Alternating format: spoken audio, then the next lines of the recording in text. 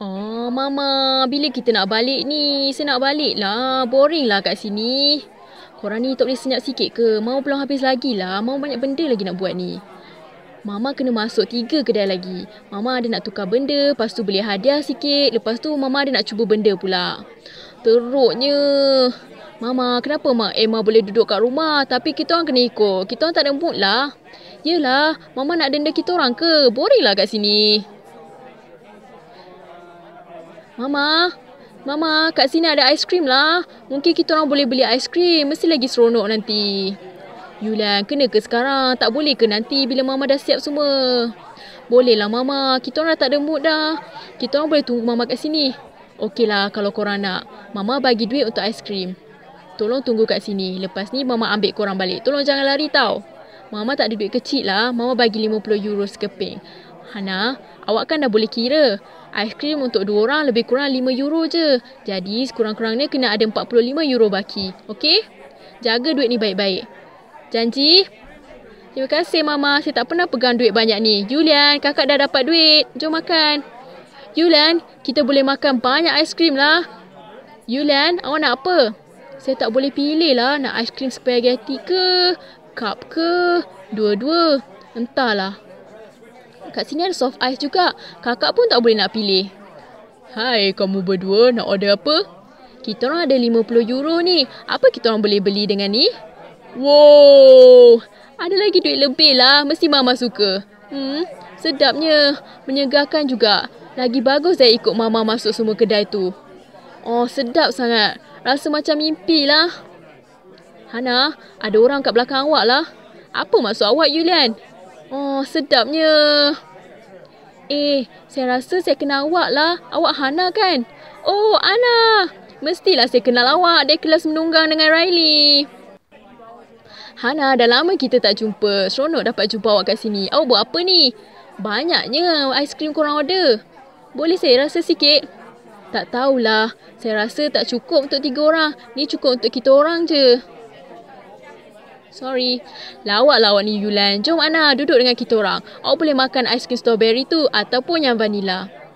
Hebatnya. Hana, terima kasih. Kenapa awak lama tak datang sekolah menunggang? Akhir-akhir ini tak banyak masa lah. Saya banyak benda kat sekolah dengan kawan-kawan saya lagi. Saya tak sempat lah. Sedih juga.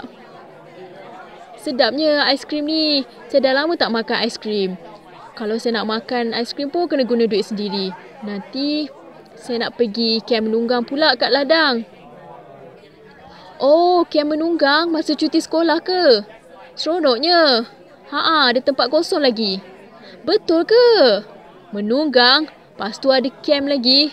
Sini kat mall pun dah cukup teruk. Tapi kalau pergi menunggang dengan Hana, dengan kuda, tak baguslah. Apa? Mana ada Yulan? Kuda baguslah. Kuda haiwan paling cantik tau. Seronok lah kalau saya dapat pergi camp macam tu. Bolehlah saya tunggang dengan belai kuda setiap hari. Saya nak tanya mama papa saya lah kalau saya boleh ikut sekali. Kalau ada tempat kosong mesti boleh. Apa dah jadi ni? Berapa banyak aiskrim korang order? Bertenanglah mama. Bertenang. Lagipun Hana cakap saya boleh order berapa banyak aiskrim saya nak. Sebab tu saya order banyak aiskrim. Hana, Mama dah cakap betul-betul berapa euro harga aiskrim tu dan berapa euro akan ada lebih. Mama cakap saya kena tinggal 5 euro lagi. Saya ada 5 euro kat sini. Taklah, mestilah tak. Jangan cakap awak habiskan 45 euro untuk aiskrim je. Biar betul ni. Hari ni memang malang lah. Mama betul-betul stres. Tapi Mama tengok ni kawan saya dari kelas menunggang lah. Mama kenal tak? Hai Aunty, betul tu. Saya pun ada kat kelas menunggang. Saya kenal Hana kat sana. Oh ya, yeah, betul tu. Aunty ingat. Ana kan? Tapi kita dah nak pergi. Yulian, Hana, jom. Oh, tapi mama kita belum habis makan ni. Betul tu. Lagipun saya nak bagi tahu mama benda ni. Nanti Ana nak pergi kem menunggang. Saya pun nak pergilah. Ada tempat kosong lagi. Tolonglah mama. Saya pun nak pergi. Boleh menunggang dengan belai kuda. Tak lama lagi dah. Masa cuti nanti. Saya tak tahulah kenapa dengan mama saya tu. Dia terus pergi je. Saya akan tanya dia lagi nanti. Mesti boleh lah.